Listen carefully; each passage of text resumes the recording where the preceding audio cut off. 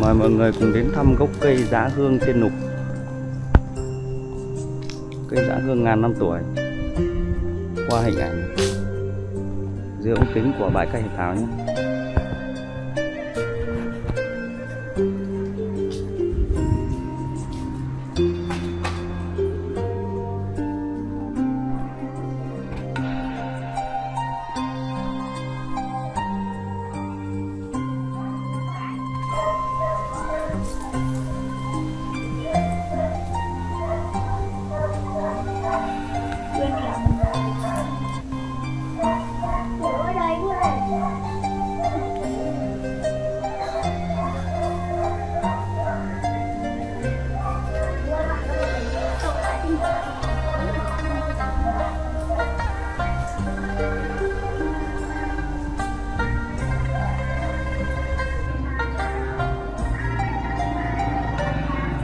Đây là cây giã hương ngàn năm tuổi.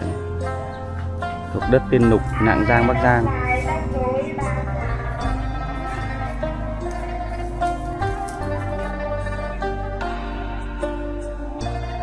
Di tích lịch sử văn hóa còn tồn tại trên đất Tiên.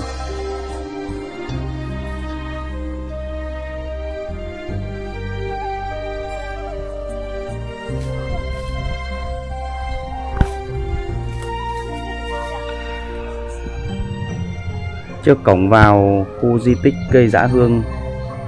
Ngàn năm là một khu khuôn viên rất nhiều là bóng cây mát mẻ.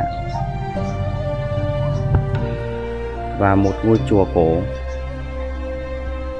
Rất rộng rãi và vẫn giữ được nét cổ xưa, một nét di tích cổ.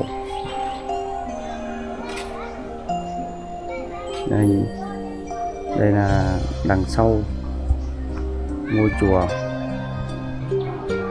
Ở đây là mặt tiền ngôi chùa cổ, vẫn còn lưu giữ lại nét cổ truyền, nét xưa, rất là xưa nha.